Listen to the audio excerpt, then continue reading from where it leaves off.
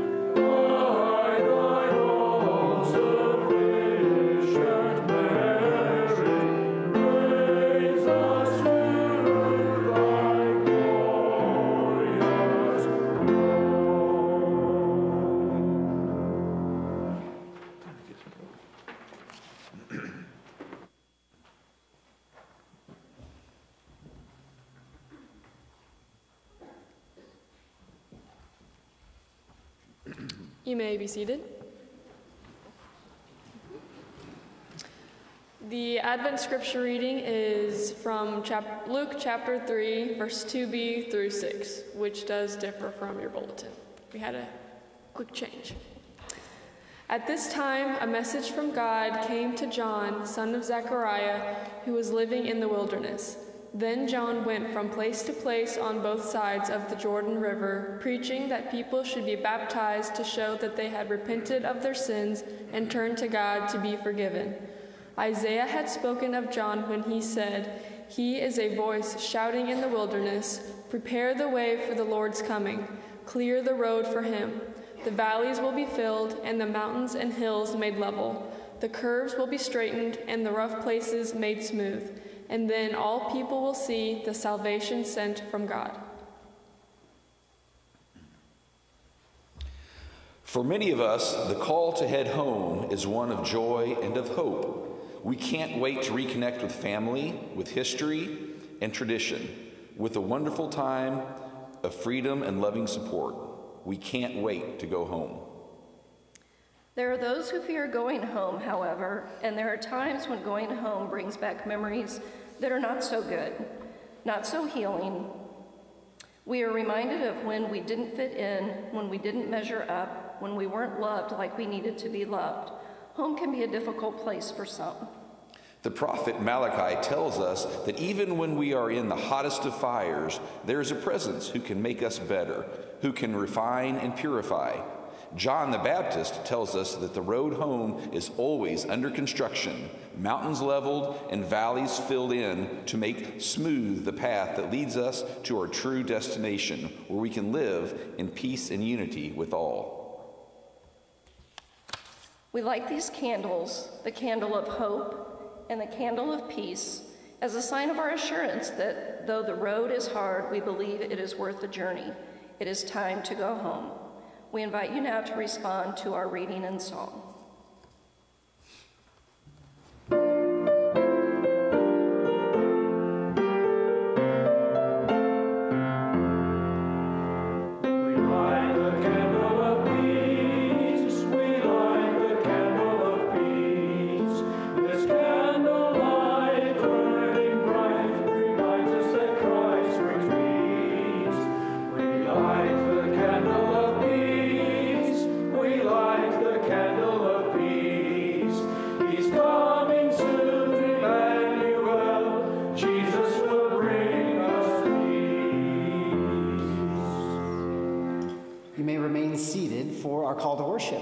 Should be on the screen.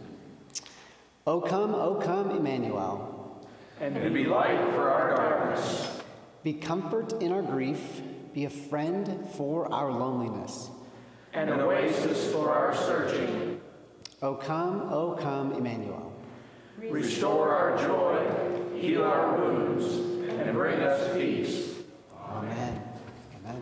Amen. I want to let you guys know about some more stuff that's coming up in the life of our church ministry that we are super, super excited about. Uh, today, there's something awesome going on out there in the fellowship hall, which is just out these doors and to your left inside the church. Our kids and youth are going to be uh, leading a wrap and give project, which means you have time today. They're going to be here till 2:30. You have time today to bring presents to them. Uh, they even gave me an example to show all of you that they do tremendous work. You can bring your gifts to them, uh, and they will wrap them for you. It's totally free, but they are taking a free will offering in support of um, our partnership with our Christmas families, which are families here in our area that um, we work with through the, the city, where we can provide them with household needs and presents this time of year. And so, if you have presents sitting around the house like I do that need to be wrapped, you can bring them here, and we can get that done for you, courtesy of our kids in our youth. And they are staying busy because on uh, December the 12th, next Sunday at 5 p.m. here in the sanctuary, they're going to be leading a very mixed up Christmas pageant that's a ton of fun. And we want to invite you guys to be a part of that. They've been working so, so hard on it, and we're very proud of them. And so come show support next Sunday um, evening, afternoon at 5 p.m right here. And coming up this Tuesday, um, December 7th, the United Methodist Women are having a Christmas carry in meal that they want to invite you to. They're going to be doing an ornament exchange, just a fun Christmas party with the United Methodist Women that we would love for you to be a part of on Tuesday evening here at 6, 6 p.m. at the church. You can always give us a like or a follow on Facebook and check our website out as well to see what's happening all of the time because there's this and so much more. You can also check out your bulletin to find out more, and Laura's going to come up and share another.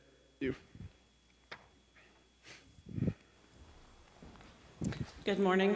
Um, I have a few items of congregational care. Um, we had um, the Kriegler family celebrated Justin's life yesterday. Please con continue to keep them in prayer. Um, Justin had a cat who was his little buddy, and so they are now trying to find a home for the cat. I can't remember his name, but he's a very nice, classic tabby cat, very loving and friendly. So let me know if you're interested in a cat, Christmas cat. Um, also, and, and please continue to keep them in prayer. And also, as we continue to pray for the Nix family and Dwayne on his long road of recovery from COVID, Debbie's work group is organizing a benefit auction, and I believe they're going to conduct it mainly as an online thing on Facebook, but there will be a way for other folks to participate also. The, the, so right now they are seeking donations for this auction and they would like to have those turned in as soon as possible. Um, so let me know if you have anything that might work, if you want to donate to an online auction. And then the information on bidding on that, we will email that out this week. And then finally, Margaret Johnson, who is one of our church matriarchs, who pretty much stays at home these days. Um, she is needing a ride to the doctor's office in Columbia this Thursday. So, any of those things, if you would like to help out with, please contact me in the office and uh, note on the back of your bulletin Monday and Thursday, the office hours are a little different than normal. Tomorrow will be just 2 to 5 p.m. Thank you.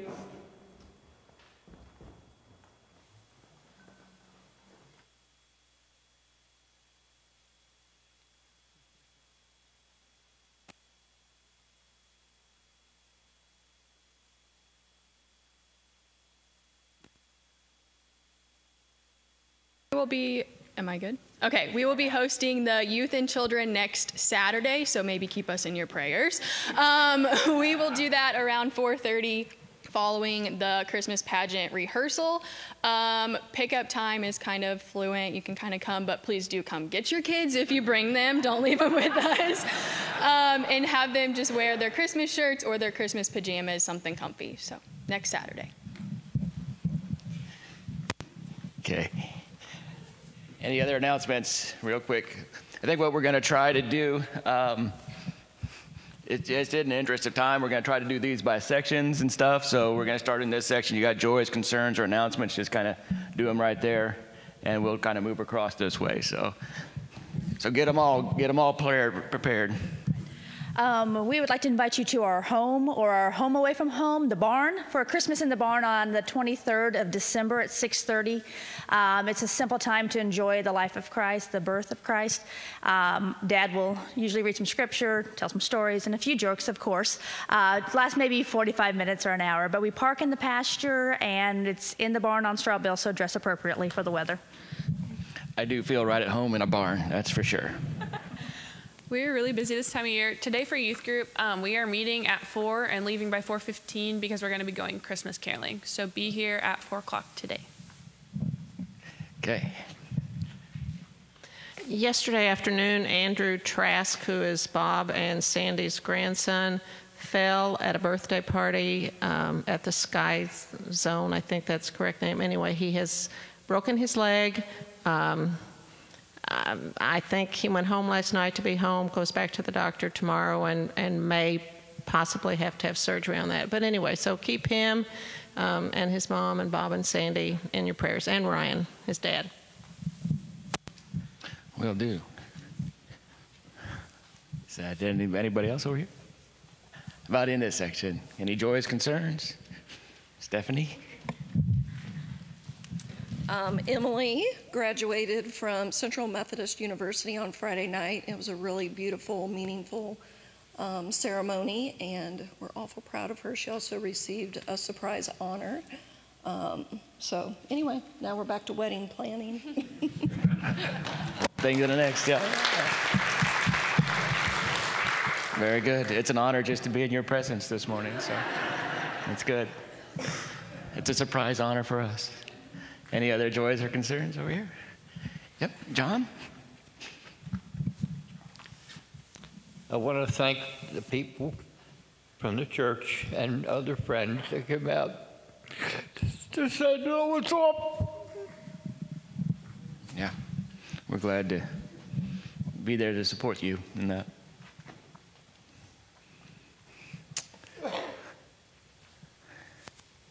Any other joys, concerns here? How about over here? No? Oh, yep. Ma Jerry, she's got it. Um, I just want to congratulate Sophie for getting the Panther Pride thing. for the month. Um, and also, Amanda is in, Amanda, Becca, sorry about that, is in the Builders Club at eighth grade, middle school there, and they're collecting um, pencils and crayon books, puzzles, anything like that. They have to be new to go to the hospital for their children. And you go to Dollar Tree and you spend five or ten dollars, and you'd be amazed what you can get. So, and I think the Kiwanis are with us too. Do you have anything else to add, Bill?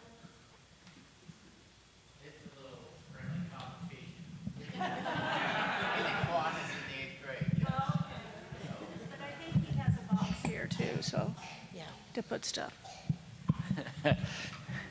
so you can support Bill's box or or help the eighth graders, but I don't know. We'll let you guys fight that out. So, any other joyous concerns? How about over here? Do you raise your hand, Sally, too?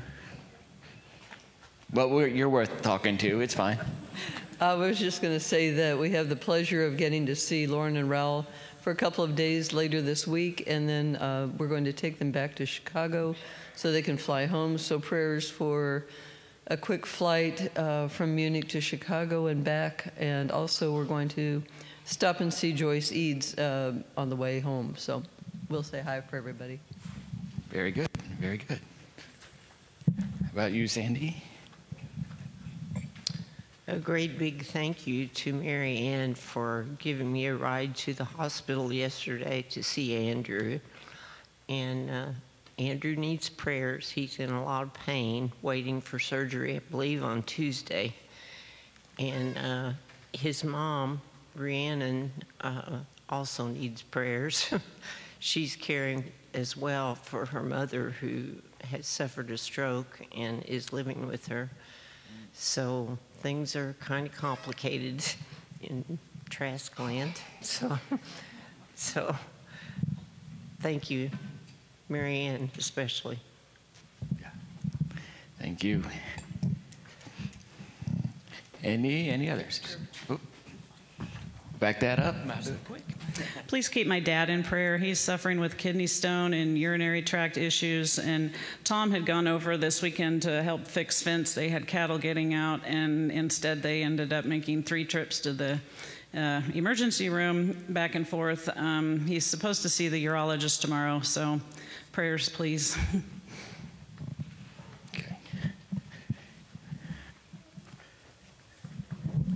Yeah, it's a joy to uh, be working with the high school music department uh, with the uh, Madrigal.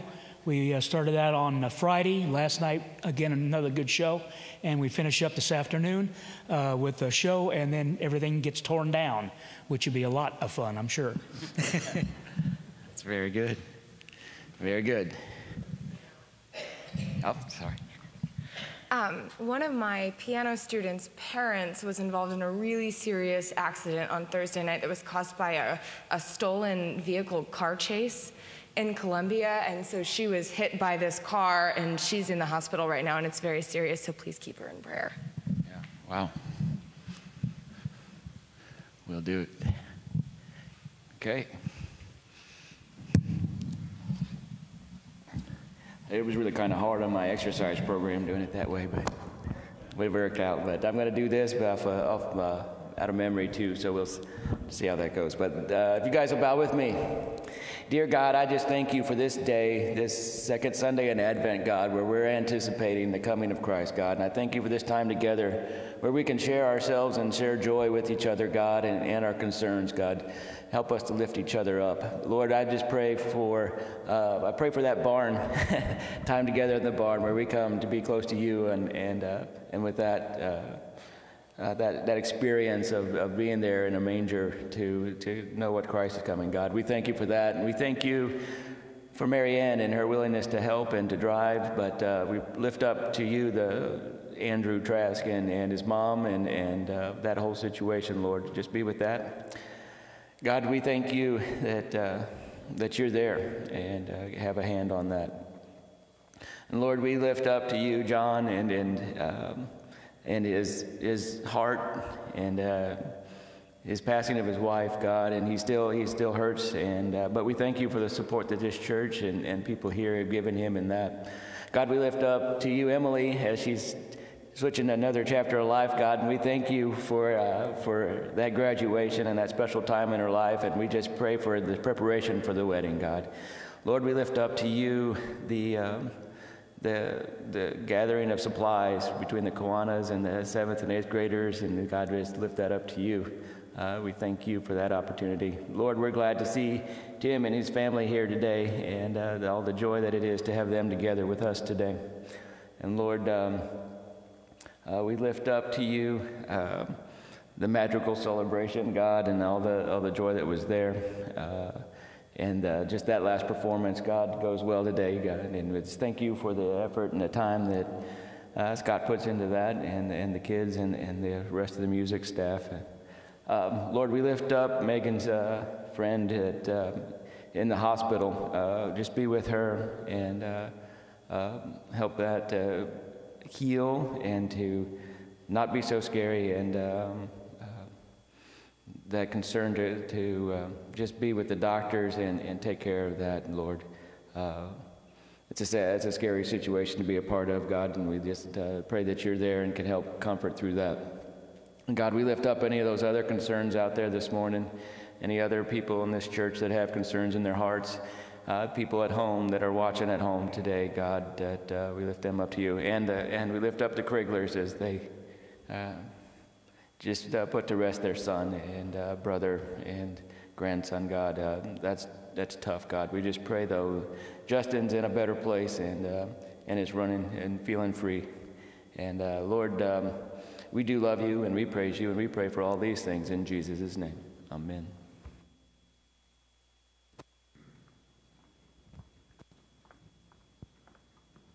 Good morning. If the kids want to come up to this front pew, they can.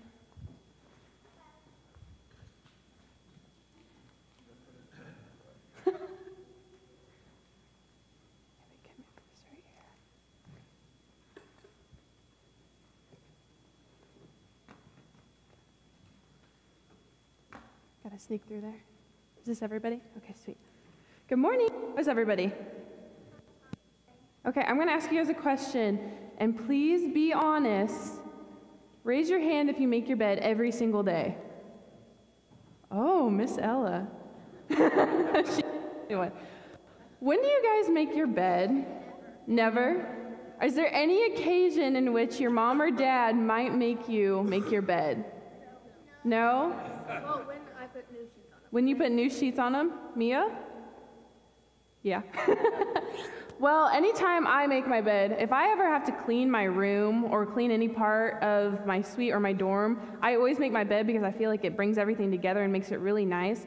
And so, what if I told you guys that we're going to do a little cleaning today? Do you, do you want this? No? Do you want this? Here. Do you you want this? Ella's the only Ella's the only one, guys. Remember that. Take her home with you. You want this? Yeah, you Oh, okay. All right. What are, what are some times that your parents might clean? What are some occasions that they might clean for?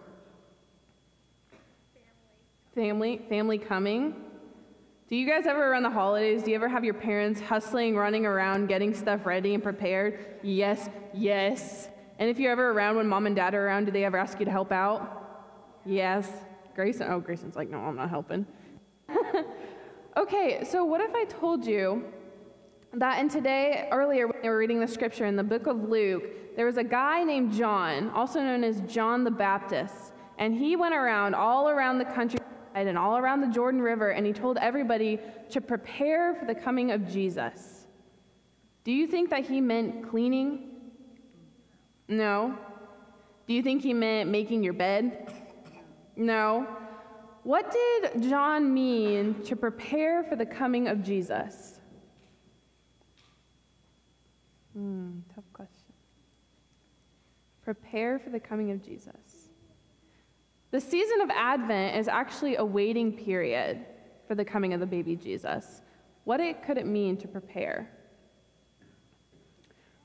Well, in the book of Luke, John says to prepare our hearts for the coming of Jesus. Do you guys know what that means? What does it mean to prepare our hearts? Have you guys ever had to prepare for something like maybe a sports event, maybe a test, maybe a birthday party? Does it take a lot of planning, studying, practicing, a lot of preparation, time, thinking, and reflecting. Yeah, exactly, exactly. And that's the same exact thing right now. Right now, we're in a period of waiting for the baby Jesus. And so while we're preparing for Jesus, we're also preparing our hearts for God. We're thinking, what gifts does God give us? What ways can we serve God better? What ways can we get closer to Jesus? So I want you guys to think about that. And today we're going to talk a little bit about peace. And so, what ways can we bring peace to our lives, and what ways can we bring peace to God and have a relationship to get closer to Jesus Christ? Will you guys pray with me? Dear God. Dear God. Thank you for this season of waiting.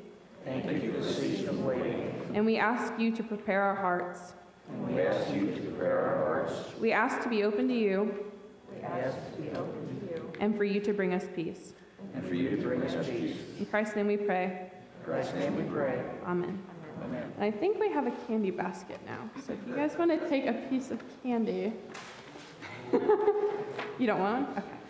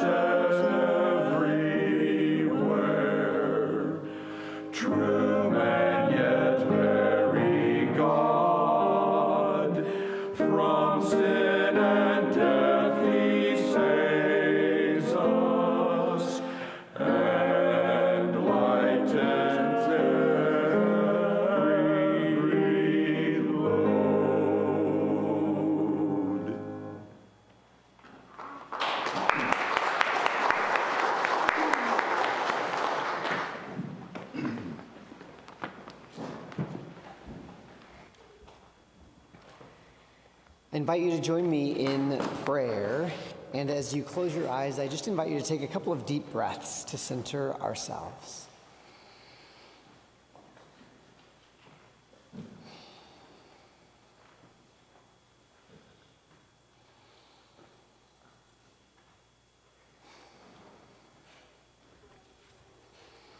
in a time of exciting preparation. We're in a, a time of preparation to receive and, uh, and let that anticipation continue to build as we move closer. So it is our time in our service where we get to celebrate and give uh, our offerings and tithes back to news is God gives us so many gifts. And it's just an act, it's an act of being able to celebrate. You can uh, make uh, donations online, you can send a check to the church. You, there's so many ways. And it's also really exciting in this swarm of people next to the tree. And so I think there's still a few ornaments left in the community so they can have a good Christmas. And we'll need those back. And if it's your first time in worship with us, we ask and know that so us in so many ways.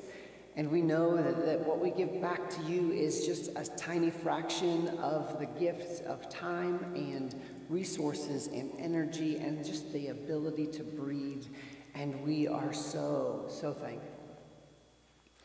We also trust and know that with your uh, presence, that, that our gifts will be multiplied and grow and also serve those around us.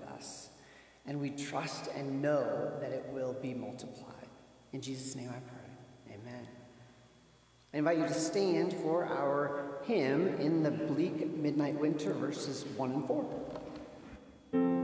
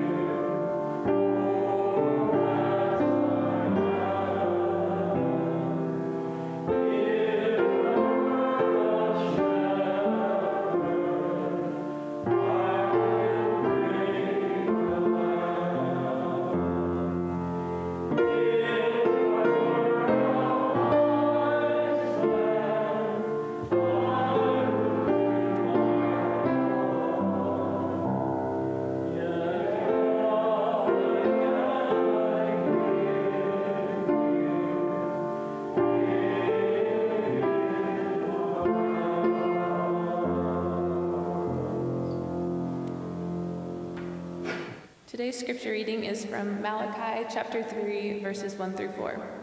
I will send my messenger who will prepare the way before me. Then suddenly the Lord you are seeking will come to his temple. The messenger of his the covenant, whom you desire, will come, says the Lord Almighty. But who can endure the day of his coming? Who can stand when he appears? For he will be a refiner's fire or a launderer's soap. He will sit as a refiner and purifier of silver. He will purify the Levites and refine them like gold and silver. Then the Lord will have men who will bring offerings in righteousness. And the offerings of Judah and Jerusalem will be acceptable to the Lord, as in the days gone by, as in former years. The word of, the God, word of God for the people of God. Thanks be to God. And please be seated.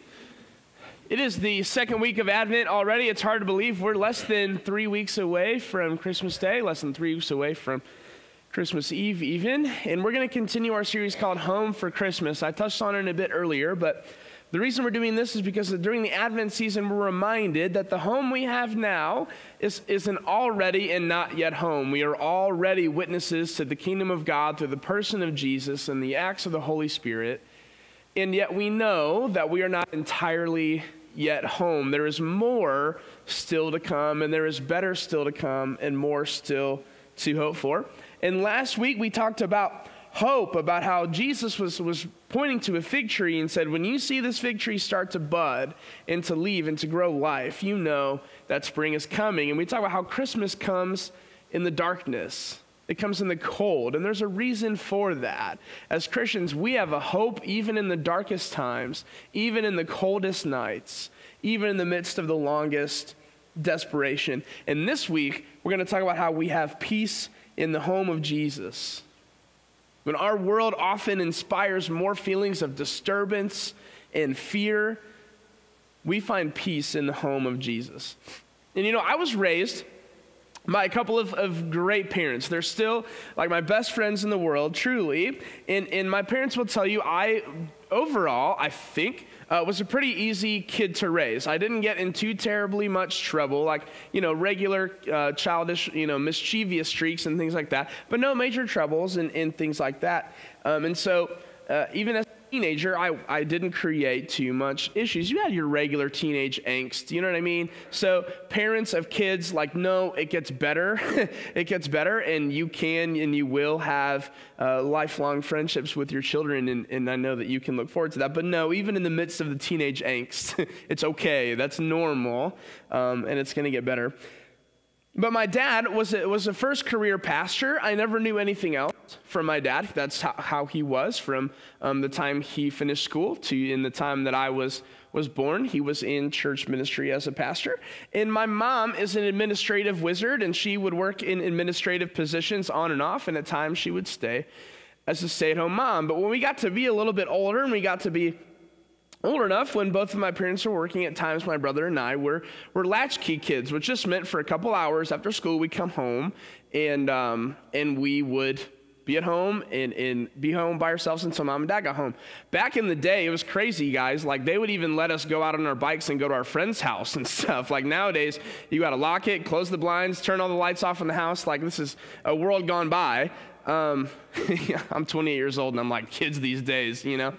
Um, but it was just it was just different. But we were latchkey kids at times, not always, because sometimes, like I said, my mom was a stay-at-home mom. And I remember when we come home, there would often be like a sheet on the kitchen table or kitchen island or something, and it would have the list of items that were expected to be accomplished before mom and dad got home. Things from like make sure that you take the chicken out of the fridge so it can have an extra couple hours to thaw so it's ready for dinner. Please make sure your room is clean. That was probably the big Maybe we needed to vacuum in the living room or whatever. And normally, you know, you see it and you're like, okay, but you've just got done. School is long and you've been there all day, so you're just like, I just need a minute on the couch. And so you, you're, you're on the couch and you're chilling, you're watching after school cartoons or whatever. And I had my list, and I heard that garage door open. oh man, I was no longer at peace after school. I was in a rush and, you know, was just trying to do whatever I possibly could in 30 seconds to, to say, yeah, yeah, I did that. And it's like, man, I don't know why the chicken's not thawed. I took it out as soon as I got home, like you told me to. You know, if, if got a little bit older, even, you know, and, and cell phones became particularly even more normal for us to have, then we, we might get lucky and get a call and say, I'm on my way home. Oh, that was the best. I got an extra 20 minutes. I could get everything done. Then, no problem. But it was like, oh, you know, and she'd, she'd call and say, Have you gotten to the list yet? And I'd say, Of course, Mom. I got it done as soon as I got home. What do you think I was doing all this time? You know, it was that garage door opening that spurred me to action. It spurred me to action. I wasn't spurred to action by the note, I was spurred to action by, oh no, I'm not ready. I haven't done what I was supposed to get done. See, and there, and there are so many times I think as, as parent or as former child, we can relate to the story because we probably all have lived that existence at some point.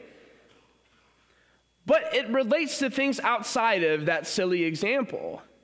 Because there are many things in our life that we are asked to do and expected to do, and we do them, and we pray that it measures up. At work, you're expected to perform, and you hope that it measures up to your boss's standards. At school, maybe you're taking a test or writing a paper, and you hope it measures up to the standards for your teacher. Maybe you can think of something else. Maybe it's you personally. You are getting ready for the day, and you hope that the way you look and the way you dress measures up to the standards of the place that you're going. You're going to a party with people you've never been to before. You hope your personality meshes with theirs. You hope that you measure up. See, just like how my mom might give me a warning or, or a heads up with a note or with a phone call about what was coming, um, it often wasn't until her actual arrival that I was spurred to do something about it. And in our scripture reading, we hear from the prophet Malachi, who tells us that the Lord Almighty is coming. And he also mentions a future, uh, a future messenger that is going to say that the Lord Almighty is coming and he is coming now. Who might Malachi be referring to? Where are our biblical scholars at? Who is the messenger saying that the Lord is coming? We read from him earlier today. His name? John the Baptist, very good. John the Baptist says, Friends, the Lord is coming and he is coming now, and it is time to prepare. Well, Malachi actually prophesies about John the Baptist in this passage when he says that there's going to be a messenger who is going to say, Prepare for the coming of the Lord. And John the Baptist in Luke's gospel, as we read earlier, says, quoting Isaiah, a voice of one calling in the wilderness will say, Prepare the way for the Lord and make straight the paths for him. So John the Baptist says, Prepare. And Malachi, hundreds of years before him, says, Prepare, the Lord is coming. But prepare for what exactly? Elise actually hinted on that idea in the kids' message. Prepare for what are we supposed to prepare for? Prepare for a silent night with a bunch of cute animals and a little baby? Prepare for our favorite time of year? Prepare for what? See, whether we don't feel the heat this time of year um, because we just enjoy it and we don't take too, too many things too close to heart, or maybe we do feel the heat. We prepare for family to come over. We prepare for the shopping that we feel like needs to get done. We prepare for uncomfortable conversations around the dinner table that we just had a couple weeks ago, and we have more around this time. Or maybe some of us still prepare for the judgment that we might feel from family or friends when we get together. See, but it's none of that. That's not the preparation, even we're talking about. What Malachi describes is bigger and harsher than that. It's bigger than checking off the items on your shopping list. Malachi offers these thoughts in our preparation. He says, For who can endure the day of his coming? Who can endure the day of the coming of the Lord? And who can stand when he appears? For he is like a refiner's fire. You see, John the Baptist who more recently than, than Malachi is pointing to this coming of Jesus, he lived in a world, and of course, then Jesus entered into a world that looks a lot like the one that you see today. Looks a lot like my room before the garage door opened. A little messy, a little unprepared, a little not as others might prefer. And Malachi declared the coming of Jesus to and in a messy world as well. John the Baptist told a messy world to prepare. And Jesus entered into yet still, despite the warnings, a messy and unprepared world. See, our house was messy, but the good news is that Christmas has arrived and Emmanuel is here. So we are asking ourselves then in our preparations for the coming of the Lord do we measure up? Who can stand before the Lord when he appears? Will we be able to stand before him now that he has arrived, as Malachi warned us? Maybe you can relate to this kind of pressure this time of year, because no matter what going home, as we're talking about, looks like for you, if that's something you look forward to, or we all know that home isn't necessarily the place, but it's the people we surround ourselves with. So sometimes going home means people coming to you. But whatever going home looks like with its traditions and expectations, we might go crazy with anxiety of anticipation of this time and this day. Or maybe it's, it's harder because we don't look forward to it.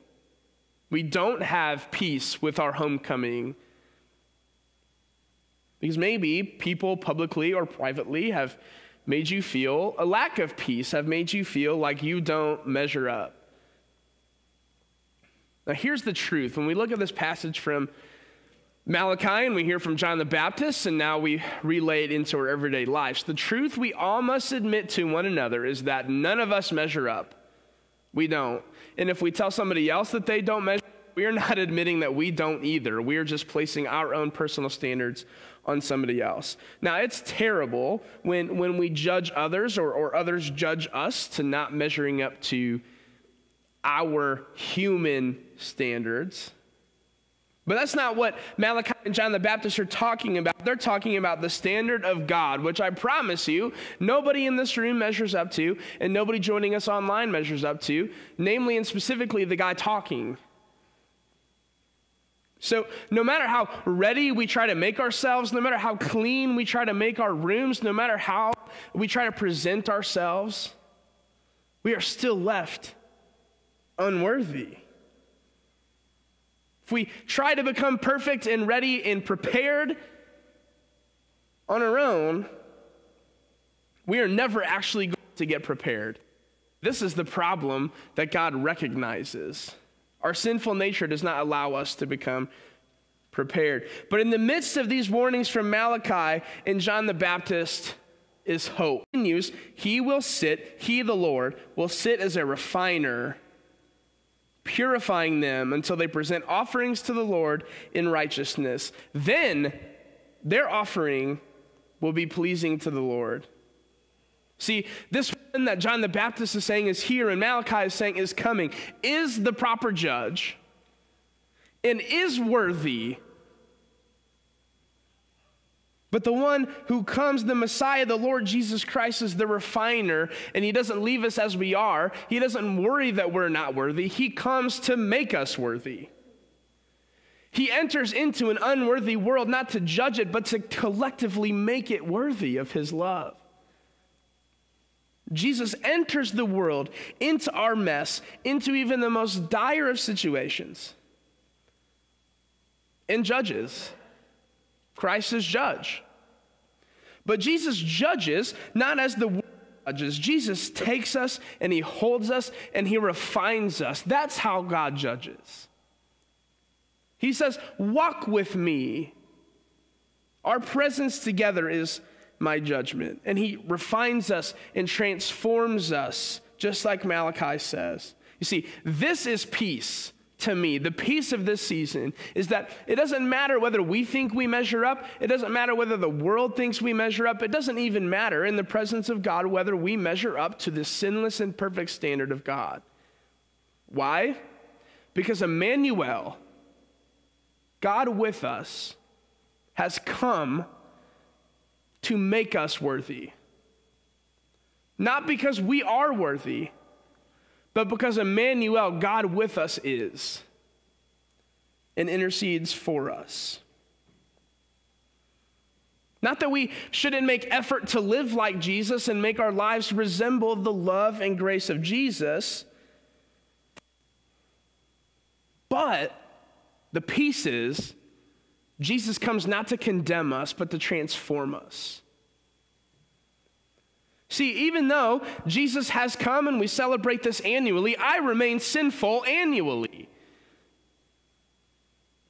I'm still a sinful person. I still make mistakes. I still fall short. But through the grace of Emmanuel and because Jesus has come, I'm no longer seen and counted that way by God Almighty, and neither are you. Because just like Malachi says, now because of Jesus, the offering I bring is worthy, not because I have something worthy to bring.